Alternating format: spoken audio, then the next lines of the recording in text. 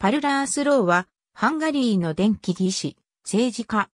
1942年、郵便局員の後に、新聞編集者となった父ティボルト、貿易会社で、流通部門の責任者を務めていた母、アグネスの間に、ブダペストに生まれる。両親はどちらもハンガリー共産党、ハンガリー労働人民党、ハンガリー社会主義労働者党員であった。ブダペストの初等中等学校を卒業し、ハイテク産業技術学校に進学した。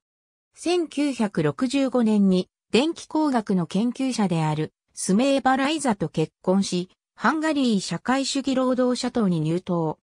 1966年にモスクワのモスクワ電力工学研究所を卒業し、電気工学と計算機科学の学位を取得した。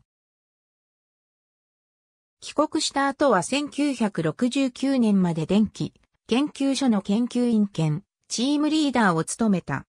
その後、国家技術開発委員会の主席報告者を務め、1973年から1980年まで部門長を務め、さらにその後5年間部門長を務めた。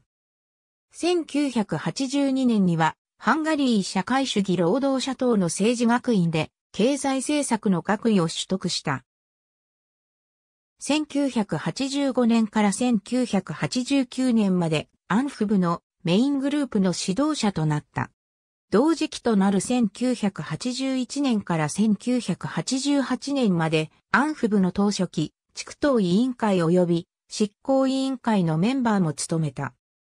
1989年10月の党大会でハンガリー社会主義労働者党の全国議長に選出され、1990年から1997年までの7年間国会議員を、1994年から1995年まで、ホルン内閣で産業貿易長官をそれぞれ務めた。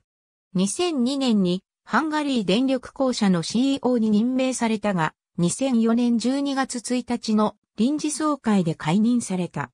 2017年11月21日、長期にわたる闘病の末に75歳で死去した。遺体はブダペストのケレペシ墓地に埋葬された。ありがとうございます。